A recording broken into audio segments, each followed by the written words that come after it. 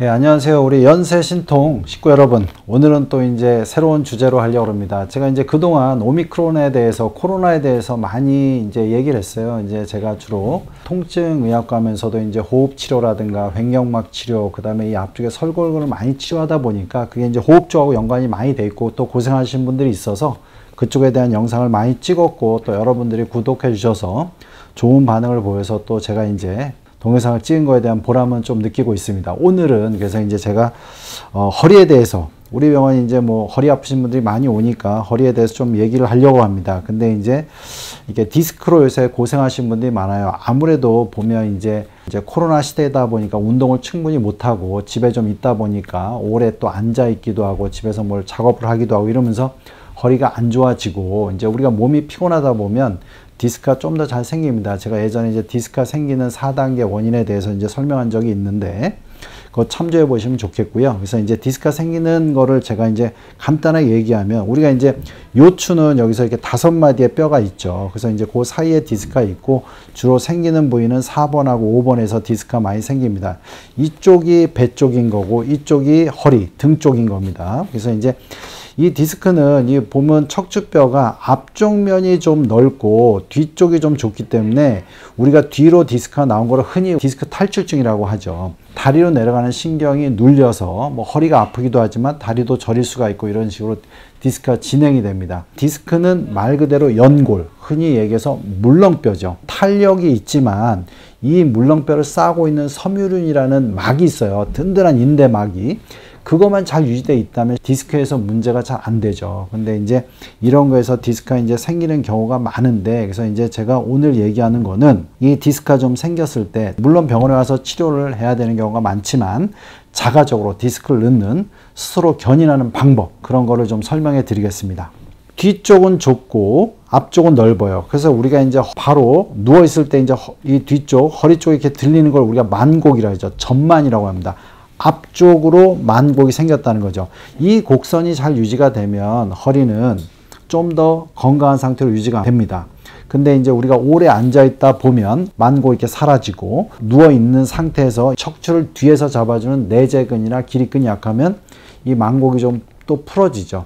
그러면 이제 뒤쪽이 점점 넓어지면서 이제 디스크가 뒤로 나갈 수 있는 찬스가 많아지면서 몸도 피곤해서 이제 그 싸고 있는 섬유나 이런 거는 피곤할 때 나오는 여러 가지 이제 스트레스 호르몬에 의해서 약해지니까 느슨해지니까 그러면서 이제 디스크가 뒤로 나갈 때 문제가 되는 거죠. 그럼 우리가 이제 이게 자가적으로 요런 척추 기립근 그러니까 내재근을 강화시켜 주고 서 있으면 중력에서 허리 디스크는 자주 눌려 있지만 이렇게 누워 있는 상태에서 누워 있는 상태에서 복압을 증가시키면 이 양쪽으로의 횡격막과 골반저 근육 사이에 압력이 증가되면서 이렇게 좀 늘어나는 역할을 합니다. 그래서 이런 자가 견입법에 대해서 오늘 설명을 드리려고 합니다. 우리가 이제 누워 있다 보면 허리에 만곡, 전만이라고 하죠. 전만이 이렇게 좀 주저앉습니다. 그래서 이제 기립근이 척추를 잡아준 내재근이죠. 내재근이 좀 이완이 됩니다. 그래서 이제 우리가 너무 오래 있으면 이 내재근이 이완돼서 허리가 또 아파지게 되죠. 그래서 이제 이런 누워 있는 상태에서 기립근, 허리, 내재근을 강화하면서 자가적으로 견인하는 법을 보여드리겠습니다. 이렇게 편하게 계시면 허리에 만곡이 이렇게 바닥에 딱 달라붙으면서 이제 없어지는데 허리 뒤쪽에 기립근을 강화하는 방법은 이렇게 배하고 배꼽하고 허리를 같이 숨을 들이쉬면서 들이신 상태에서 쭉 위로 올리는 겁니다. 자, 이런 식으로 하면 허리에 전만이 생기죠. 전만. 그러려면 허리를 잡아주는 마디마디 근육이 어, 긴장을 해야 되고 이렇게 전망이 되고 거기다 배까지 앞으로 쭉 밀어넣습니다. 그러면 이제 기립근을 강화시키는 상태인데 이거는 일단 기립근만 강화하는 거고요. 그렇게 숨을 쭉 들이신 상태에서 어, 숨은 약간 멈추는 게 좋습니다. 제가 지금 얘기하면서 숨을 쉬고 있지만 숨을 멈춘 상태에서 이런 식으로 배를 배꼽을 뒤로 쭉 넣어서 허리하고 이렇게 붙이는 형식으로 하는 겁니다.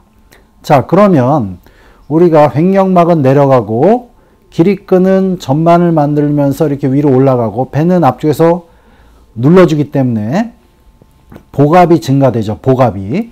그러면서 우리가 자가적으로 이 아래쪽에 있는 골반대를 아래쪽으로 밀어내는 우리가 풍선을 짜부시키면 풍선이 아래 위로 퍼지듯이 이런 식으로. 근데 횡격막은 딱 숨을 멈추고 있기 때문에 아래쪽으로 골반이 내려가는 식으로 견인을 하게 되는 것입니다.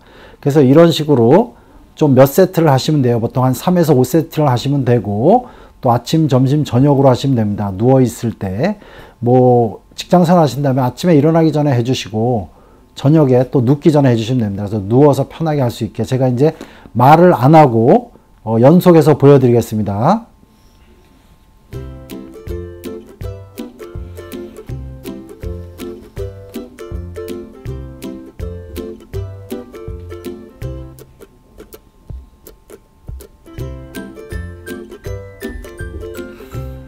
숨을 쉬시고요.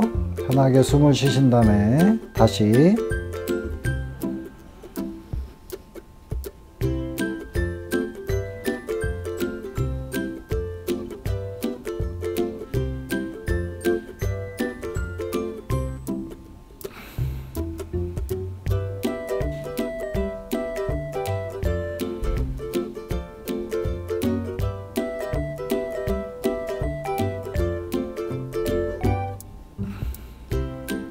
네, 여러분들이 이거를 가능하면 허리가 안 좋거나 디스크가 나오신 분들이 있으면 하루에 세 번씩 한 5세트에서 10세트를 하시면 허리를 충분히 강하게 할 수 있고 디스크를 집어넣을 수 있습니다. 물론 그래도 계속 허리가 안 좋다면 내원을 하셔야 되고 또 제가 이제 골반에서 많이 얘기했듯이 골반에서 생기는 통증은 좀 요거랑 다르기 때문에 제가 얘기한 골반이 틀었을 때 잡는 방법 우리 이제 연세신통 채널에 연세신통 골반 하면 그쪽에 또 나와 있으니까 검색하면 그걸 참조하시고 오늘은 허리 디스크를 자가적으로 누워서 어, 견인하는 방법에 대해서 여러분에게 말씀드렸습니다. 예, 연세신통 TV 여러분 구독해 주시고요. 여러 영상이 있습니다. 이렇게 참조 참조해 주시기 바랍니다.